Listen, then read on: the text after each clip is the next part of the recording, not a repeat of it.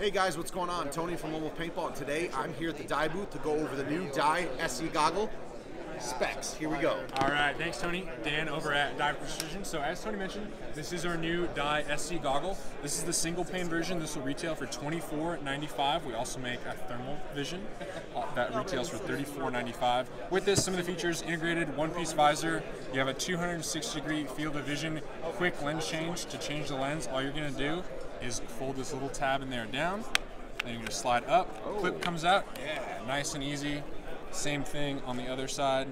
Clip goes down, slides up, lens pops out the front. Real easy. It will be a new lens system. We're calling it our switch lens system. There's also a field rental version of this as well. So the old i4 or 5 lens can't fit in here, correct? No, Okay. no, this is an entirely new lens system. Yep. And we're expecting these to be delivered right around end of March, early April. So super lightweight, great price point goggle. Grab some packaging.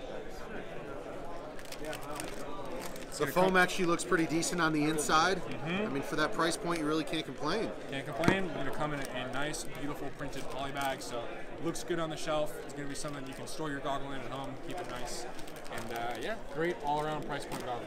I appreciate your time. Thanks for watching, guys. Subscribe to the channel if you haven't already, and have a good day.